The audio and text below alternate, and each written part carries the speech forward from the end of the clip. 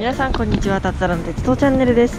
今回は新しく開業した前形駅に行ってみたということでやっていきましょう。一関と盛岡の間は東北本線で移動しその後田沢湖線で前形駅に行きます。それでは今回も行っていきましょう。レッツゴー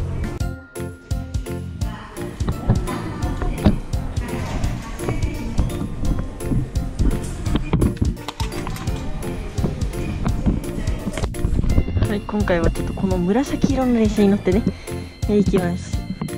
この紫色の列車なんですが、見た感じでもこの辺でしか走ってないんですよね。この盛岡と一ノ関の間以外に走ってるとこあれば、ちょっと教えてください。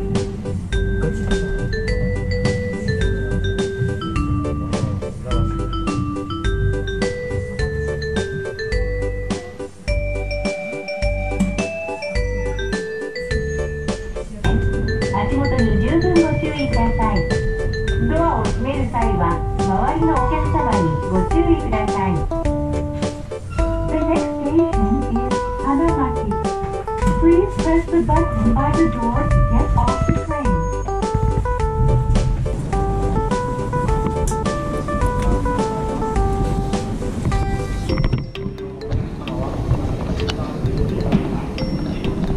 はい、ということで盛岡駅到着です。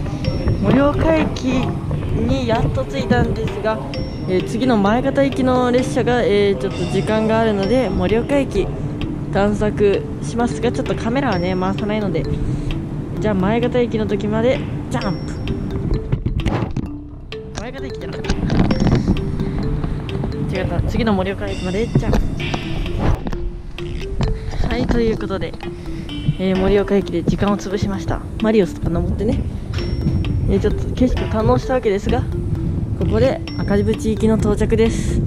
赤渕というのはまあこんな風に、まあ、とてつもなく秘境なんですが、え今回は、えー一駅行った前方駅で降りたいと思います。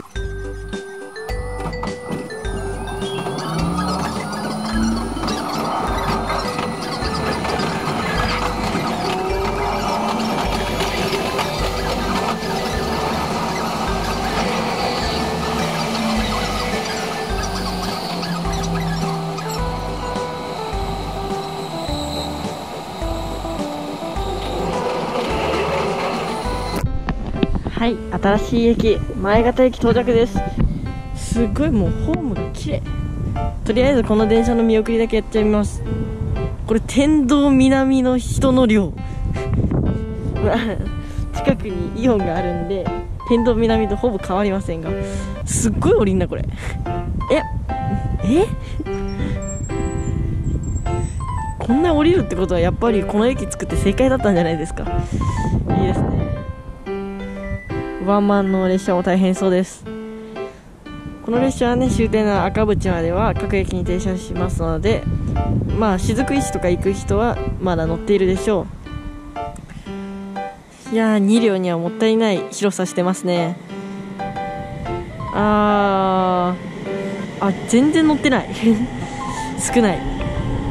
はい。前まではここをそのまま通過していましたそれではちょっと前方駅の内装について見ていきましょうか。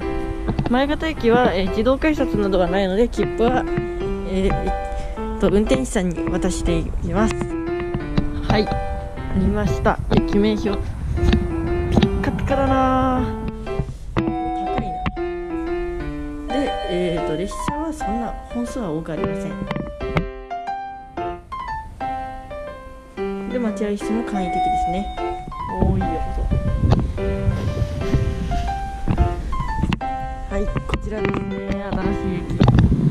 駅うわー綺麗だわ。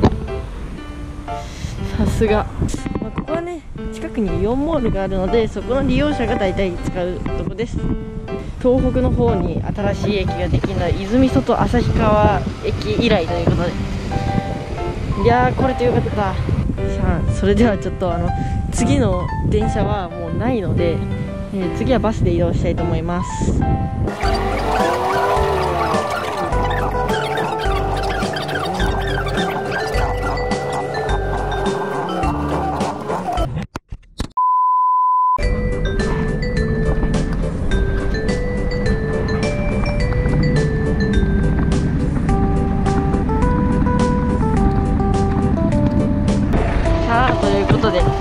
スに乗って盛岡駅着きました。ということで今回の前方駅いかがだったでしょうか？結構新しくてびっくりしましたね。ということで今回の「たったの鉄道チャンネル」はここまでです。次回もご覧ください。それでは。